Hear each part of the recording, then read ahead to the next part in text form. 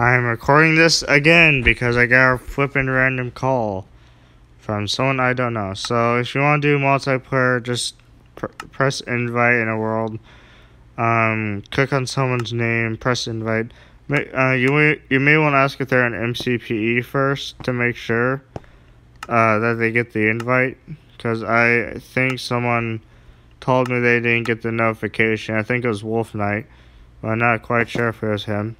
But uh, if you do that, then they should get the invite in game.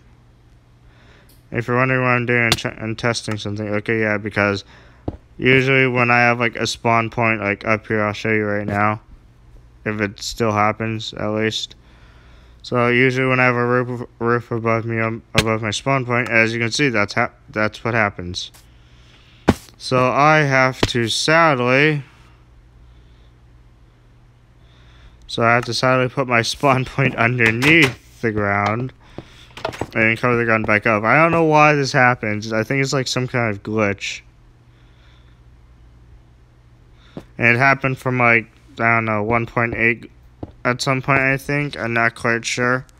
Let me make sure it works. Okay, it does. Good, good. And that's going to be it for this video, guys. Hope to see you guys next time. Bye, guys.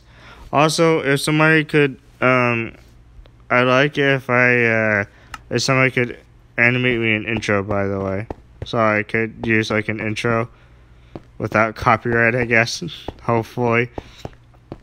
So, yeah, it, I uh, guess I'll have an intro contest and an outro contest because if my videos are short enough, I will use them.